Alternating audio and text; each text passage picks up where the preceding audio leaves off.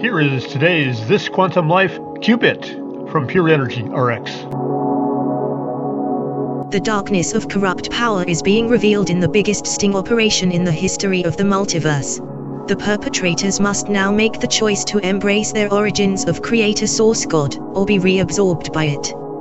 Most of incarnated humanity has been the spies in this great purge, but we, too, must re-embrace our God Source, and allow the purge within ourselves to happen.